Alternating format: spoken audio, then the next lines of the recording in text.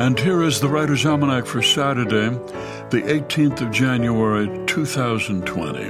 It's the birthday of the poet and journalist Ruben Dario, born in Nicaragua in 1867.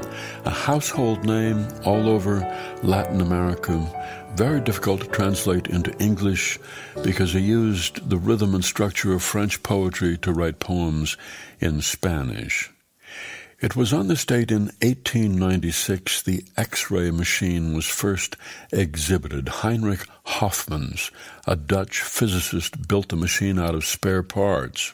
It took very clear images, but they came at a terrible cost.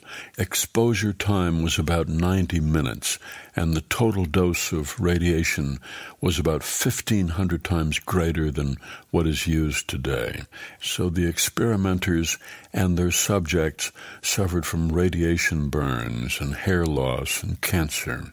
Many people ended up having to amputate the hands that had been x rayed. It's the birthday of Thomas Watson, born Salem, Massachusetts, 1854. He was Alexander Graham Bell's assistant who helped him invent the telephone, though he never got much credit for that. It was Watson who was on the receiving end of the first telephone call when Alexander Graham Bell said, Watson, come here. I want to see you. Bell was a professor at Boston University at the time. Watson was 20 years old. He worked at a machine shop. It was Watson who fine tuned the telephone. He invented the ringer and also the ability to hang up the phone when it wasn't being used. He invented some early switchboards. He worked with Bell for seven years and then he went off to do something else.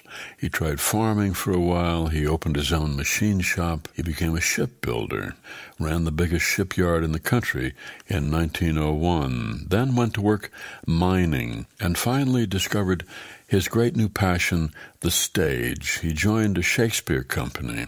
He started out with small parts, worked his way up to bigger ones. Thomas Watson said, Never before had I felt such a constant freshness, exhilaration, and capacity for work and study. He formed his own theater company, and he wrote stage adaptations of Dickens's novels. And it's the birthday of the man who invented barbed wire and thereby changed the face of the West, Joseph Glidden, born Charlestown, New Hampshire, 1813. He was a farmer. He settled in DeKalb, Illinois, where he figured out how to bend little pieces of wire into barbs and to work them into longer strands of straight wire. The invention of barbed wire made Joseph Glidden a millionaire. When he died in 1906, he was one of the richest men in America. Here's a poem by Faith Shearin entitled Alligators. The year she is six, my daughter dreams of alligators in the closet, at home where her uniform waits, and at school where the children hang their coats in a room made of winter. When certain classmates begin stealing her lunch, she imagines an alligator passing behind her teacher's desk unnoticed. Sometimes the alligator is on our street eating cars. Sometimes it wanders to the playground where she is hopping from one square to another, practicing balance.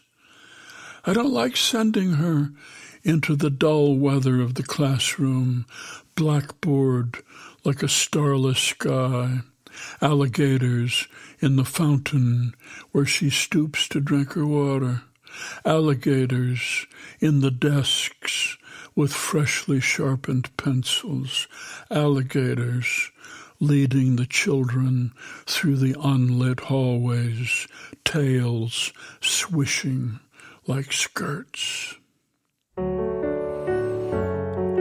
Alligators, a poem by Faith Shearin from her collection Moving the Piano, published by Stephen F. Austin University Press and used by permission here on the Writer's Almanac. Be well, do good work, and keep in touch.